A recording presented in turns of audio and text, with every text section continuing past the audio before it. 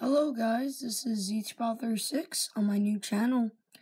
And for my first video, I'm going to be opening up these two uh, LEGO Batman movie minifigures. So, let's open this one up, see what we got. Um, I'm hoping for the lobster loving Batman. And we got Catman.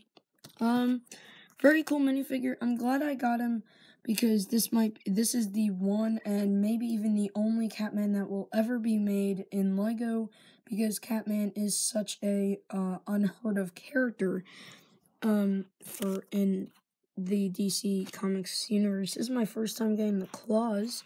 So that's a, a cool thing for me. This is the older, this is like in between style cape. It's not completely soft, but it's not completely hard. I don't know how that came, um, but you can see it's a mustard yellow color, and it's it doesn't have the same face as Batman.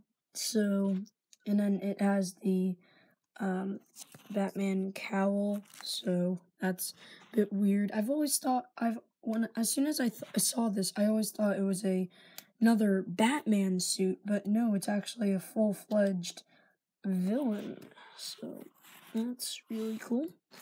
Let's go on to the next one. Let's hope, I'm hoping.